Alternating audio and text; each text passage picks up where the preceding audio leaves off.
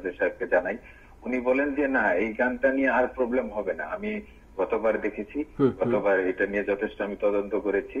আপনাদের লিরিক নিয়ে আমি তদন্ত করেছি। লাস্ট এপিসোডটাতে আমি দেখাই যে আপনার যে আপনারা যে পরিমাণ কপি করেছেন সেটা আসলেই সিগনিফিক্যান্ট এখন এই ব্যাপারে আপনার কি বক্তব্য? বইয়ের সাথে যে এতটুকু মিল আছে এটা আমরা আসলে এবারই অবগত হয়েছি। এই বিষয়টাও আমরা সম্পূর্ণ জানতাম না। আপনাদের যেই পরিমাণ শব্দ বাই শব্দ লাইন বাই লাইন এক এটা কাকতাল হওয়া সম্ভব না এটা হুবহু নেয়া। সো হুবহু নেওয়ার পর তো আপনারা দাবি করতে পারেন না যে এটা আপনাদের মৌলিক কাজ। তারা কিন্তু একবারের জন্য আমাদের সাথে যোগাযোগ করেনি বিষয়গুলো নিয়ে। জি জি। যে এটা আমরা গানটা করছি বা আপনারা গানটা কোথায় পেয়েছেন আপনাদের কপিরাইট আছে কিনা আপনারা কে কীভাবে করলেন গানটা বা আমাদের করার ইচ্ছা আমরা করলে আপনাদের সমস্যা আছে কিনা আপনাদের সমস্যা থাকলেও আমরা এটা করতে চাই কীভাবে করতে পারব। কোন ধরনের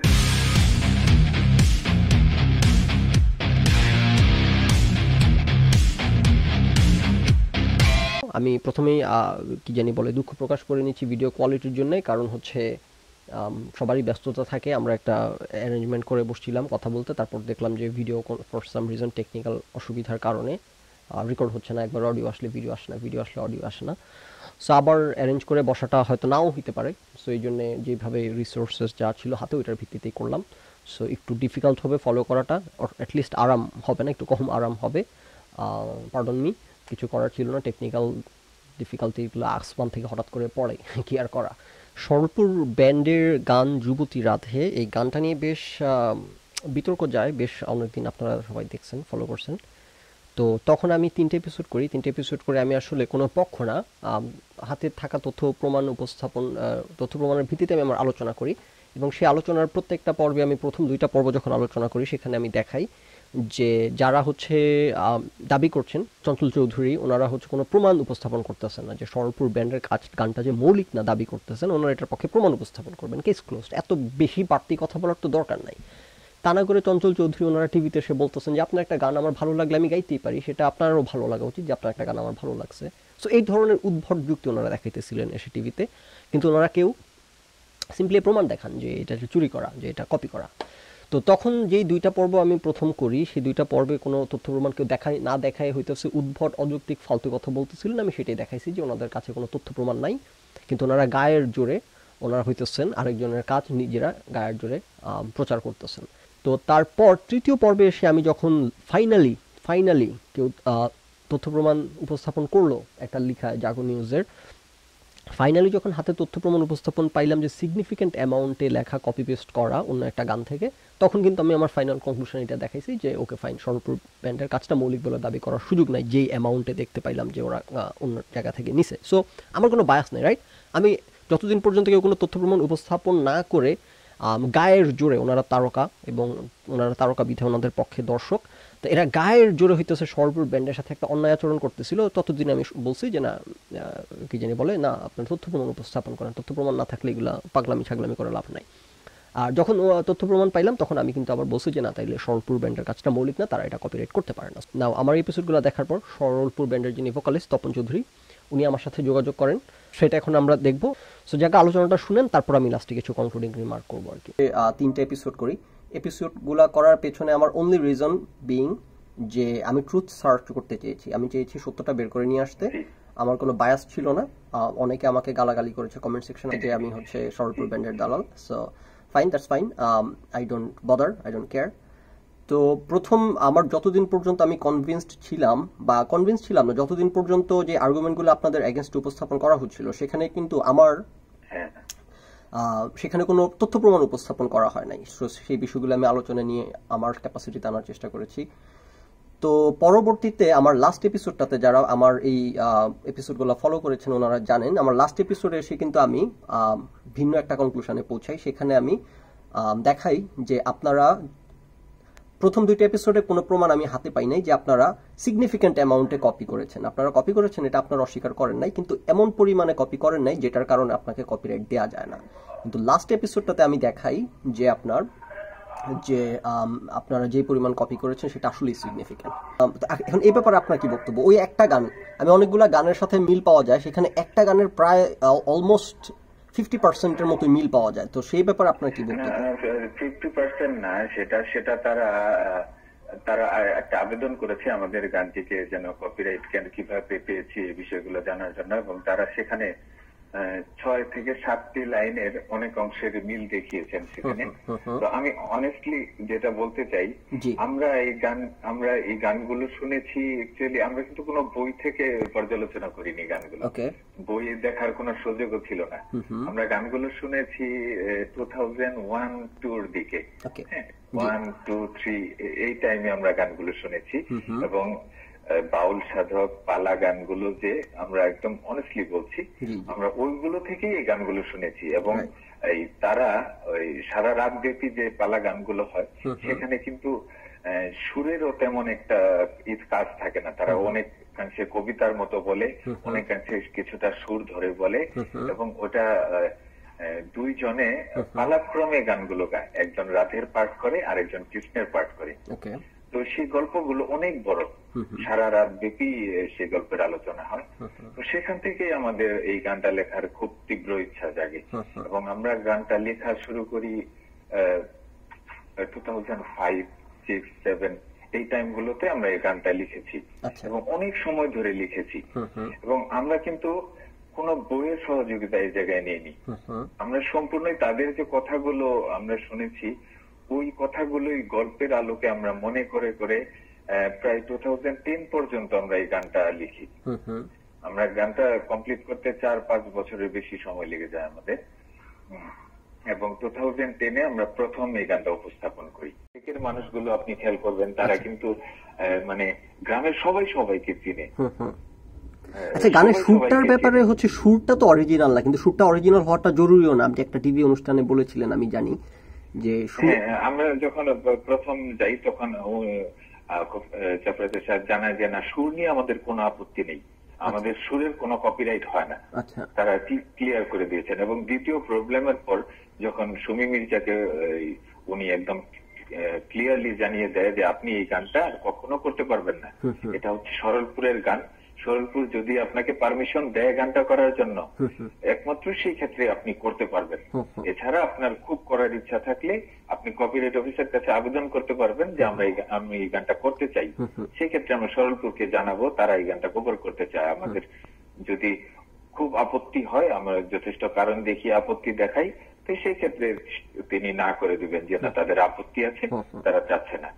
তখন সে আমাদের সামনেই জানায় যে আমি যদি এই এক যেহেতু সুরের ব্যাপারে আপত্তি নেই আমি যদি একই সুরে কথা চেঞ্জ করে আমি যদি গান করি তাহলে কি সেই ক্ষেত্রে আপত্তি আছে?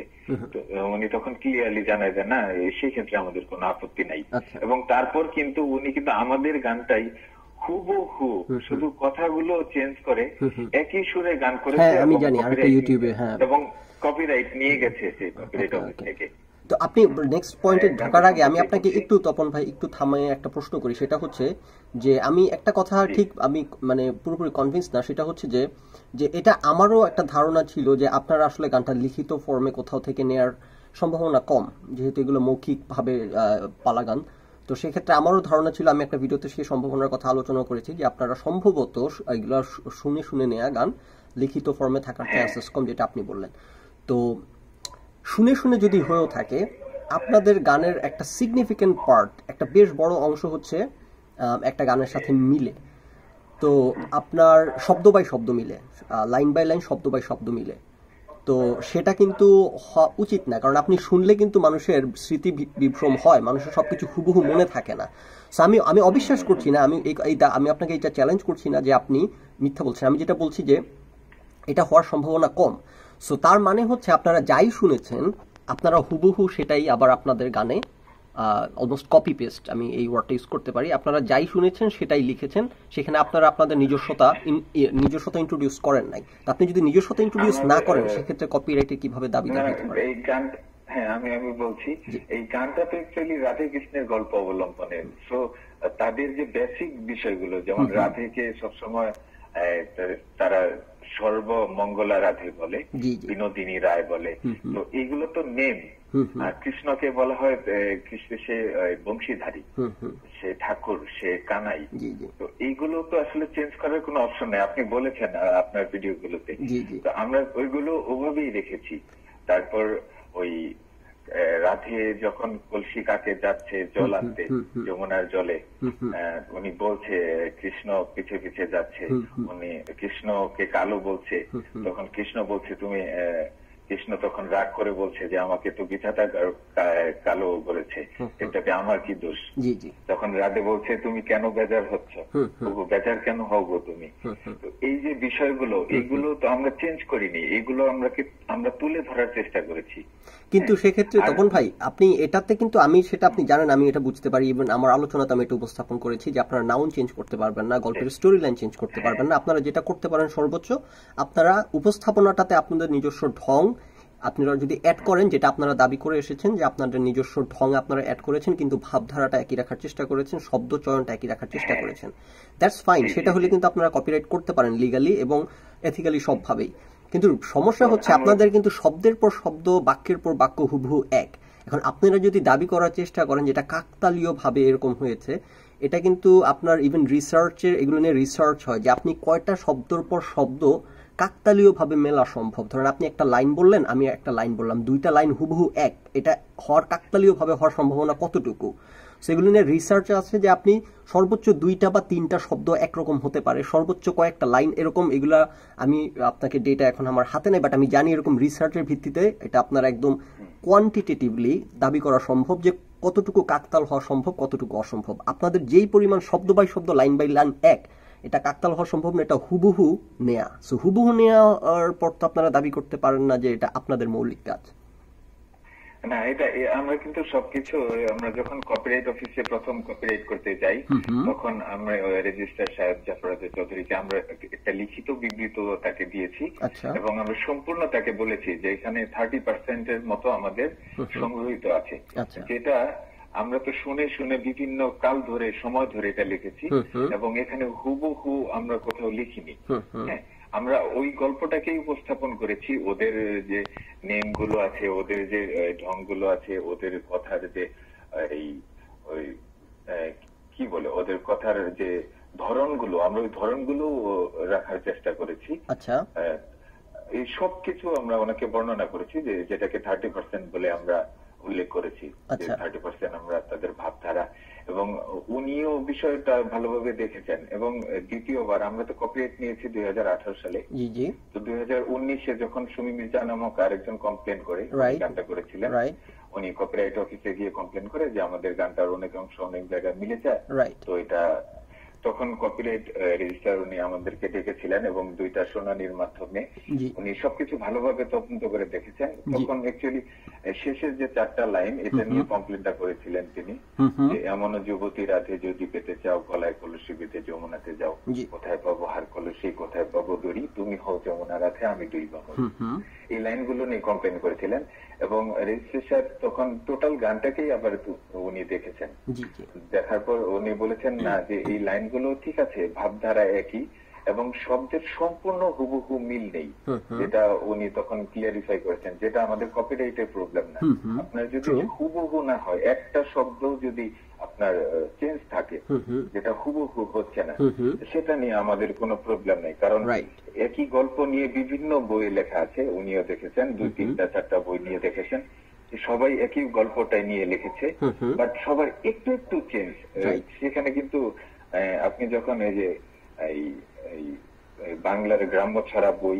তারপরে আশুতোষ ভট্টাচার্যের রত্নাকর বঙ্গীয় রত্নাকর যে বইটি আছে এবং আরও কয়েকটা বই এই গল্পগুলো আছে।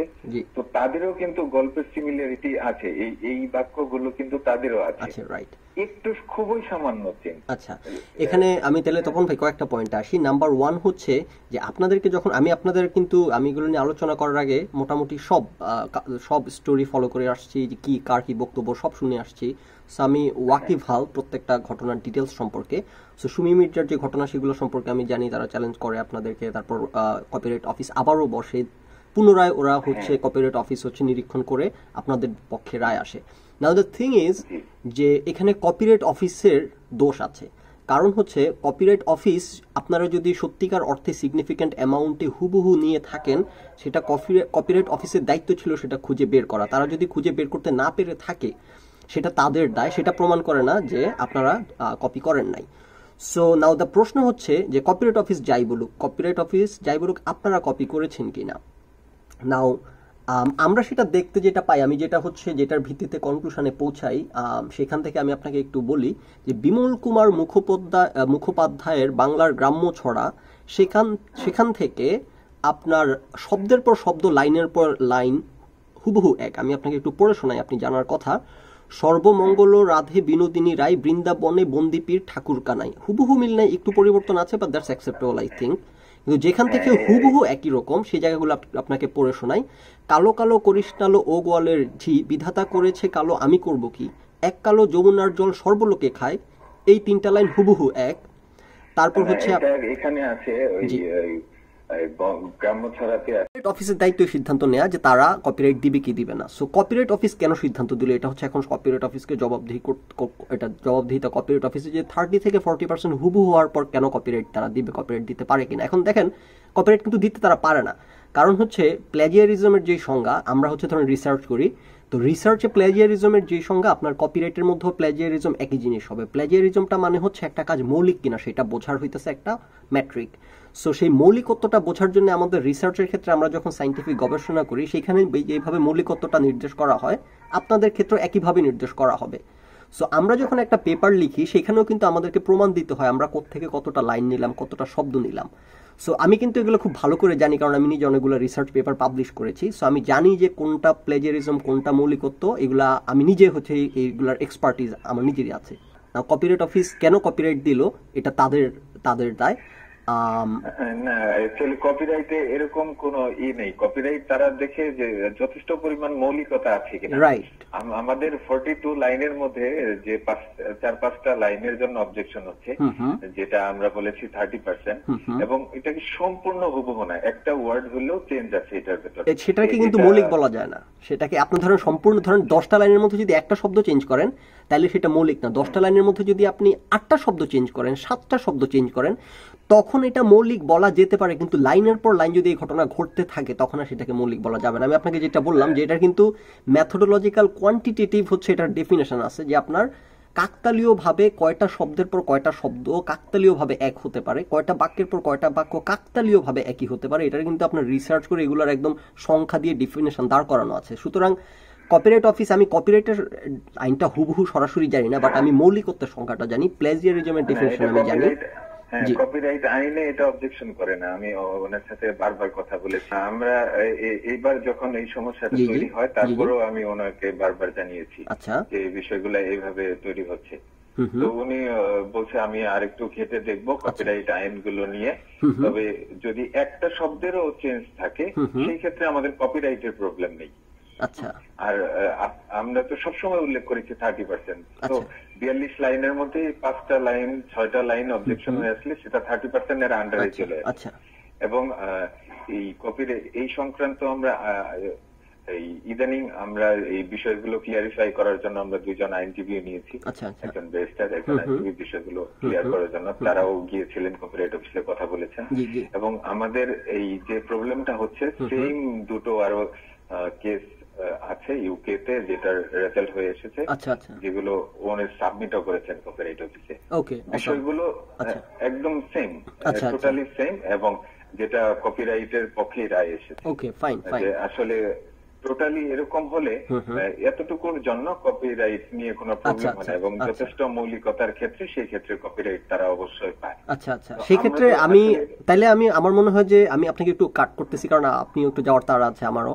তো সেটা হচ্ছে যে সেক্ষেত্রে সেক্ষেত্রে আপনাদের গানের মৌলিকত্বের সঙ্গ অনুযায়ী আমি বলব না আপনাদের গাছটা মৌলিক হয়েছে ইনাফ কিন্তু এতটুকু মৌলিকত্ব থাকলেও কপিরাইট যদি দেয়া যায়, সেটা যদি কপিরাইট আইন অ্যালাউ করে থাকে কপিরাইট আইনটা যদি সেইভাবে ডিজাইনড হয় সেইভাবে, যে থার্টি থেকে ফর্টি পার্সেন্টের মধ্যে এতটুকু এতটুকু চেঞ্জ থাকলে উই অ্যাকসেপ্ট ইট সেক্ষেত্রে তাহলে তার কোনো ইস্যু নেই, তার মানে তার মানে কপিরাইট অফিস যদি এটা ডিটারমাইন করে এবং আপনারা বলছেন যে আপনারা প্রমাণ উপস্থাপন করেছেন ইংল্যান্ড থেকে ইংল্যান্ডে এই পরিমাণ, তো সেক্ষেত্রে তাহলে হচ্ছে আপনারা লিগালি এথিক্যালি আপনারা আইন ভঙ্গ করছেন না। নাও দ্য কোয়েশ্চেন ইজ যে কপিরাইট আইনটা আসলে কি বলে? সো আমরা যদি এই ইনভেস্টিগেশনের পর আপনাদের পক্ষে রায় আসে, তাহলে আমরা জানতে পারব যে আচ্ছা মৌলিকত্বের সংজ্ঞায় কপিরাইট অফিস যথেষ্ট কপিরাইটের আইন অনেকটাই ফ্লেক্সিবল এখন আমি, আমার যেটা ভয়, আপনারা ন্যায় বিচার পাবেন কি পাবেন না? আমার যেটা ভয়, বাংলাদেশে ন্যায় বিচার মানুষ যেদিকে যায় পাওয়ারফুলরা যেদিকে থাকে, সেই দিকে রায় আসে। এখন ওই ওই পক্ষে আছেন আমাদের অনেক বড় বড় সেলিব্রিটিরা এবং মানুষের সেন্টিমেন্ট ওই পাশে। সুতরাং আপনারা যদি সঠিক, সত্য হয়েও থাকেন, আপনারা ন্যায় বিচার পাবেন কিনা? আমি সন্দিহান। তবে আমার আন্ডারস্ট্যান্ডিং হচ্ছে যে ন্যায় বিচার যদি সঠিকভাবে দেয়া হয় এবং কপিরাইটের মৌলিকত্বের সঙ্গে আমি যা বুঝি, তাতে আপনাদের কাজটা মৌলিক বলে দাবি করা যায় না এবং আপনাদের কাজটা যেহেতু যথেষ্ট মৌলিক না, আপনারা কপিরাইট পেতে পারেন না, সেটা হয়তো আমার ভুল ধারণা। সেটা হয়তো আমার ভুল ধারণা, সেটা কপিরাইট হয়তো ল অন্যভাবে কাজ করে সো এটা আমরা দেখতে পাবো যখন সমাধান হবে ইভেনচুয়ালি আপনাদের কাজটা। সো আশা করি কপিরাইট অফিস কোনো পক্ষ না নিয়ে সঠিকভাবে তাদের রায় দিবেন ইনশাআল্লাহ। জি। তো আমাদের এইটাই আমাদের তো বিয়াল্লিশ লাইনের মধ্যে অনলি পাঁচটা থেকে ছয়টা লাইনের কমপ্লেন এসেছে। যেটা যাই হোক এই- বিষয় নিয়ে কপিরাইট অফিস ক্লিয়ার হবে আমরা আমাদের আবেদন তারা একটা উত্তর চেয়েছে আমাদের কাছে। প্রথমেই যখন এই সমস্যাটা হয় তখনও আমরা কপিরাইট অফিসকে জানাই জফরাজের সাহেবকে জানাই। উনি বলেন যে না এই গানটা নিয়ে আর প্রবলেম হবে না। আমি গতবার দেখেছি। গতবার এটা নিয়ে যথেষ্ট আমি তদন্ত করেছি। আপনাদের লিরিক নিয়ে আমি তদন্ত করেছি। তারা আরও দুই তিনটা লাইনের কমপ্লেন করেছে। আমি এগুলো দেখেছি যেটা আপনাদের সাথে হুবহু যাচ্ছে না একটা শব্দ হলেও চেঞ্জ আছে যেটা আমাদের কপিরাইটের সমস্যা নেই। যে বিষয়গুলো নিয়ে। তো এই বিষয়ে তিনি আরও বক্তব্য দিয়েছেন ব্যাপারে লিখিত দিয়েছেন একটা ফোন আলাপ আছে। এখন ওনার বক্তব্যটার ব্যাপারে আমি স্পষ্ট না কারণ হচ্ছে আপনি বারবার এই কথাটা বলছেন আমি লক্ষ্য করছি যে উনি বলছেন যে হ্যাঁ। কমপ্লেন এসেছে পাঁচ থেকে সাতটি লাইনের ব্যাপারে। এটা জাফর রেজা চৌধুরী উনি বারবার বলছেন যে কমপ্লেন এসেছে।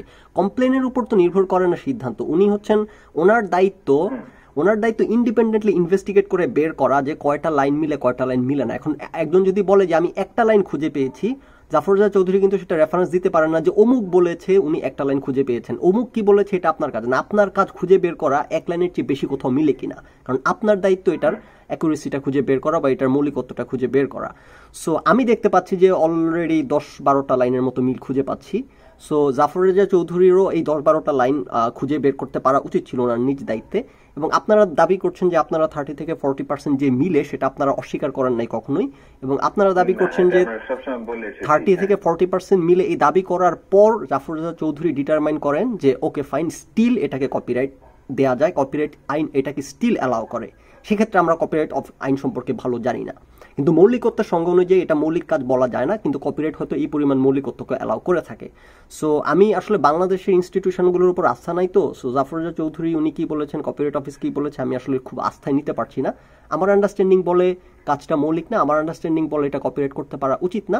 কিন্তু যদি আইন হয়ে থাকে যে করা যায় থার্টি থেকে ফর্টি পার্সেন্ট এই পরিমাণে মেলার পর আপনারা বললেন আপনারা ইংল্যান্ডের কি কি উদাহরণ জমা দিয়েছেন। সো সেটা যদি হয়ে থাকে, আমার I have no issue with it আমার এখানে কোনো পার্সোনাল কিছু নাই।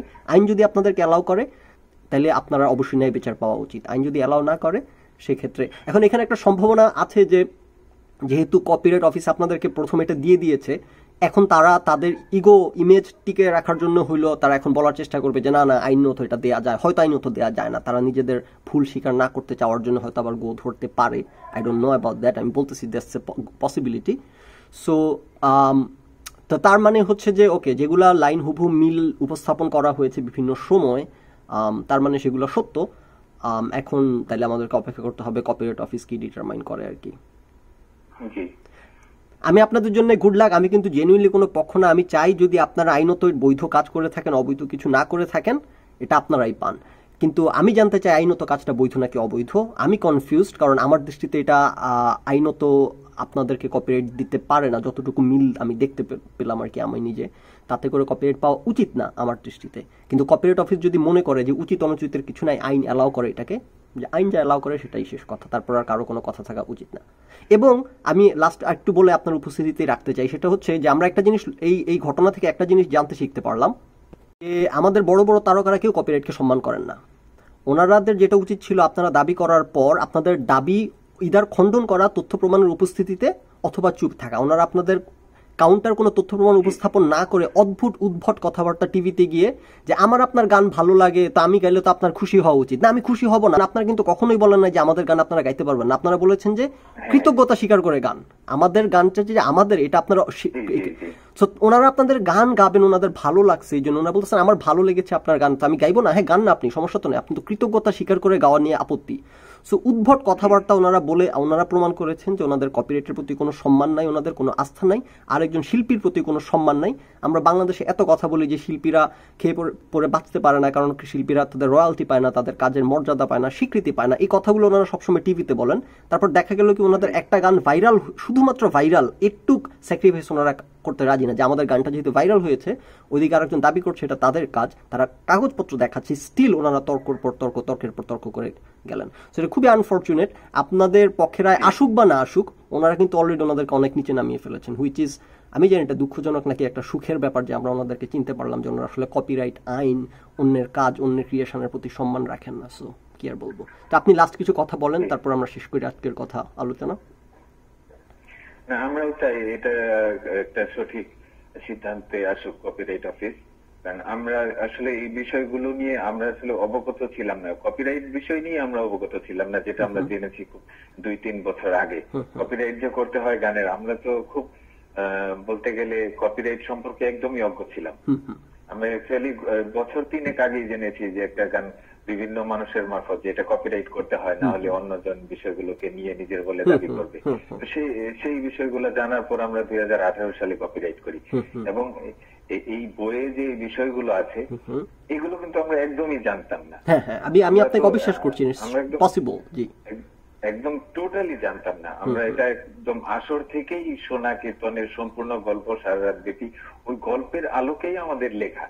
এমনও না যে আমরা শোনা অব- যখন শুনেছি তখন ওই অবস্থায় আমরা লিখিত লিখিত লিখে ফেলেছি। এরকম না।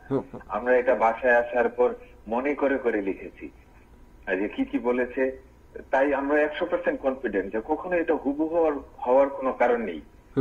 বাট যখন আমরা এই বছর এই- কমপ্লেনটা আসার পর অ্যাকচুয়ালি আমাদের এই লাইনগুলো চোখে এসেছে যেমন এই বঙ্গীয় রত্নাকর। এবং মহুয়া পালাতেও কখনো রাধাকৃষ্ণের গল্প নাই কিন্তু। সেখানে আছে মহুয়া নদের চাঁদের গল্প। সেই জায়গায় যমুনার কথাও নাই সেই জায়গায় আছে গহীন গান। আচ্ছা। তুমি হও গহীন গান আমি আমি ডুবে মরি বা যমুনার জলে ঝাঁপ দাও এই- ধরনের লেখা আছে। আচ্ছা। তো আমরা এই এই সমস্যাটা হওয়ার পরই জানতে পেরেছি যে এই বঙ্গীয় রত্নাকর বা আশুতোষ ভট্টাচার্যের যে বইটা বা এই বইতে এই কথাগুলো এইভাবে আছে। এটা আমরা এখনই অ্যাকচুয়ালি জানতে পেরেছি। এটা আমারও ধারণা ছিল যে আপনারা হয়তো বইটই জানানো না যে বই এটই ছিল আপনারা বাউলদের কাছ থেকেই শুনেছেন কিন্তু শেষ পর্যন্ত বইয়ের সাথে মিল পাওয়া যায়। হ্যাঁ বইয়ের সাথে যে এতটুকু মিল আছে এটা আমরা আসলে এবারই অবগত হয়েছি। এই বিষয়টাও আমরা সম্পূর্ণ জানতাম না। আচ্ছা আচ্ছা। এবং আহ, ভালোভাবে যতটুকু তারা লাইন তুলে ধরেছে এবং পিডিএফ বইও জোগাড় করা সম্ভব না। আমরা পিডিএফ কালেকশন করে ওই জায়গা থেকে দেখেছি যে না একটা দুইটা শব্দ হুবহু ঠিক লাইনটা সম্পূর্ণ গেছে কিন্তু দুইটা ওয়ার্ড হলেও একটা ওয়ার্ড হলেও চেঞ্জ আছে। যে আশ্বাসটা আমাদেরকে দিয়েছিলেন আচ্ছা। থেকে যে আপনাদের যদি একটা ওয়ার্ডও চেঞ্জ থাকে সেই ক্ষেত্রে আমরা আপত্তি করব না। কিন্তু একটা লাইনের মধ্যে পাঁচটা ওয়ার্ড ছয়টা ওয়ার্ড ছয়টা ওয়ার্ডই যদি হুবহু হয় সেই ক্ষেত্রে আমরা আপত্তি করব। যে আচ্ছা। কারণে আমরা এখনও কনফিডেন্ট যে আচ্ছা, যেহেতু আচ্ছা, আচ্ছা। পাঁচটা ছয়টা লাইনের কমপ্লেন এসেছে এবং আমরা সবসময় অনেকই বলে এসেছি যে আমরা থার্টি পার্সেন্ট এখানে সংগ্রহ করেছি। আচ্ছা। আমরা যেটাকে ভাব দ্বারা শব্দ চয়ন বলেছি তো এটা এখনও সেই আন্ডারই আছে থার্টি পার্সেন্ট এর আন্ডারই আছে। তার মানে আমি যেটা তখন ভাই বুঝতে পারছি যে আসলে আপনাদেরকে ইয়ে ভাবার যেমন আমি আমার লাস্ট ভিডিওতে কিন্তু আপনাদেরকে আমি বলেছি যে সরপুর ব্যাংক চুরি করেছে ওরা চোর। সো আমি আজকের আলোচনার পর আমি অ্যাটলিস্ট আপনাদের পক্ষে রায় আসুক বা না আসুক আমি একটু জানতে পারলাম। যে আপনারা চুরি করেন নাই আপনারা চোর না আপনাদেরকে কপিরাইট অফিস এই বলেছে যে একটু অ্যাকসেপ্টেবল এই কারণে আপনারা ফাইট করে যাচ্ছেন। না কপিরাইট অফিস যদি ভুল কিছু বলে থাকে সেই দায় তাদের এটা আপনাদের দায় না। আপনারা এখন পর্যন্ত আইনের পক্ষেই আছেন আপনারা সঠিক সাইডেই আছেন এখন পর্যন্ত আমার দৃষ্টিতে। এখন তার মানে দায় দায়িত্ব কপিরাইট অফিসের তারা যদি আপনাদেরকে ভুল কোনো তথ্য দিয়ে থাকে বা ভুল কোনো আশ্বাস দিয়ে থাকে। ওকে আচ্ছা থ্যাংক ইউ আশাবাদী যে না ওনারা আমাদের জিনিসটা বহাল রাখবেন। কারণ আমরা সব আমরা তো কখনোই এড়িয়ে যাইনি বিষয়গুলো আমরা একটুও নেইনি। আমরা বারবারই বলেছি আচ্ছা। যে গল্প একটাই একটা গল্প নিয়ে যত মানুষই পাঁচজন মানুষ এই গল্পটাকে নতুন ভাবে কবিতা আকারে লেখুক তাদেরও সিমিলারিটি আসবে। আচ্ছা। এবং যেটা আছে যে তিনটা বই চারটা বই রেফারেন্স আছে সবগুলো বইয়ের সাথেই কিন্তু এই লাইনগুলোর প্রায় সেভেন্টি এইটি নাইনটি পার্সেন্ট মিল আছে। হুম হুম। সবগুলো বইয়ের সাথেই আছে। না ওদের ওদের মিল থাকাটা সম্ভবত ওটা আপত্তিজনক না কারণ তারা তো কপিরাইট করতে যায় না ধরেন যে বাউলদের ক্ষেত্রে তার কপিরাইটের প্রশ্ন আসে না এই কারণে তাদের গান হুবহু এক হওয়াটাও আপত্তিজনক। মানে এটা নিয়ে কেউ আইনিভাবে আপত্তি করার সুযোগ নাই আর কি। তো যে কারণে ওগুলো এক। তো সেটা ঠিক আছে সেটা সমস্যা নাই। আপনার সাথে আলোচনা করে আজকে অনেক কিছুই ক্লিয়ার ক্ল্যারিফাই করার সুযোগ তৈরি হলো। আমি যতটুকু আপনি বললেন, আমি সেটার ভিত্তিতেই কনক্লুশন আমি অডিয়েন্সের কাছে উপস্থাপন করব এবং আমি আশা করব যে সঠিক যে সেদিকে রায় আসুক, সেটা আপনার পক্ষে আসুক, বিপক্ষে আসুক বাট এতটুকু পরিষ্কার যে আপনারা জেনে বুঝে অসততা করছেন না। আপনার কপিরাইট অফিসে আপনাদেরকে যা বলেছে, যা জানিয়েছে, আপনারা সেটার ভিত্তিতে ফাইট করে যাচ্ছেন। সো আমাদের তথাকথিত আছে, হচ্ছে আপনার তারকারা ওনারা বড় বড় তারকারা ওনারা আসলে ছোট, যারা তাদের কাজ ক্রিয়েশনের প্রতি কোনো সম্মান রাখেন না বিন্দু মাত্র। এটা খুবই তারা কিন্তু একবারের জন্য আমাদের সাথে যোগাযোগ করেনি বিষয়গুলো নিয়ে। জি জি। এটা আমরা গানটা করছি বা আপনারা গানটা কোথায় পেয়েছেন আপনাদের কপিরাইট আছে কিনা আপনারা কে কীভাবে করলেন গানটা বা আমাদের করার ইচ্ছা আমরা করলে আপনাদের সমস্যা আছে কিনা আপনাদের সমস্যা থাকলেও আমরা এটা করতে চাই কীভাবে করতে পারব? কোন ধরনের তারা কিন্তু আপনারা তো হচ্ছে ছোট ব্যান্ড ওনারা তো হচ্ছে বড় তারক ওনারা কেন আপনাদের সাথে যোগাযোগ করবেন? টিভিতে ক্যামেরার সামনে কথা বলার সময় সবাই খুব ন্যায় নীতি পড়া কাজটা এই পুরো ঘটনায় আমরা দেখতে দেখার সুযোগ পেলাম আর কি যে কার কতটুকু ন্যায় নীতি ধারণ করে। আমি শেষ পর্যন্ত ভেবেছিলাম যে আপনারা চুরি করেছেন কাজটা এখন পর্যন্ত বুঝতে পারছি যা আমি এটা কনক্লুশনে আমার ভিডিওতে আমি যখন আপলোড করব আপনি দেখতে পাবেন সেখানে আর রিপিট করতে চাই না। সো এখন পর্যন্ত আমি খুবই বুঝতে পারলাম আর কি ঘটনাটা কি কোন দিকে। সো আমি সেটা আলোচনা করে কনক্লুড করব এই ভিডিওটাতে। আর হচ্ছে যে, আমি থ্যাঙ্কস আপনি আমার সাথে যোগাযোগ করে জিনিসটা ক্ল্যারিফাই করার জন্য আই অ্যাপ্রিসিয়েট ইট আর হচ্ছে আপনাদের জন্য শুভকামনা থাকল। সো আলোচনা থেকে যেটা ক্লিয়ার হইল, সেটা হচ্ছে যে, আমি যেরকম করে বললাম যে, এই এখন পর্যন্ত আমি যেটা বুঝতে পারতেছি যে, এই গানটা মৌলিক না, এই কাজটা মৌলিক না। সরলপুর ব্যান্ড যেহেতু কাজটা মৌলিক না, সেহেতু কপিরাইট করার কোনো সুযোগও নাই। কিন্তু সরলপুর ব্যান্ড যেটা হচ্ছে এখানে, তারা জেনে বুঝে অন্যায় চুরি করছে, তেমনটা মনে হচ্ছে না রাইট একটা ব্যাপার হচ্ছে সরলপুর জানে যে তারা একটা জায়গা থেকে কপি পেস্ট করছে, চুরি করছে মার্সে ধরেছে, করে সেটা অস্বীকার করতেছে যে না, আমরা চুরি করি নাই।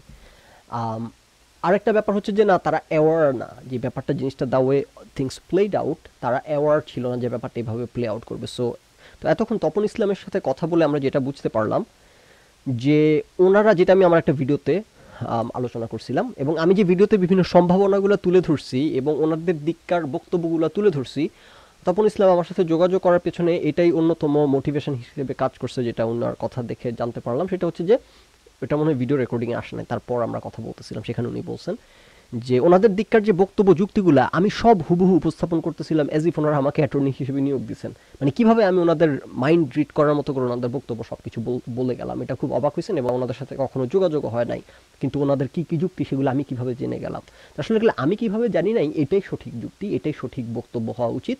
কিন্তু মানুষ ইন্ডিপেন্ডেন্টলি কেন এটা দেখতে পাচ্ছে না, এটা তাদের একটা দুর্বলতা এবং এটা একটা দুঃখজনক বাস্তবতা। আলোচনাটা এই অ্যাঙ্গেলগুলো থেকেই আসা উচিত ছিল, কিন্তু উঠে আসে নাই। তো যা হোক আমি যেহেতু ওনাদের দিককার বক্তব্যগুলো ওনাদের সাথে কথা না বলেও কখনো তুলে ধরতে পারছি, সুতরাং ওনারা খুব ইমপ্রেসড হয়েছেন যে কারণে উনি আমার সাথে কথা বলতে চেয়েছেন।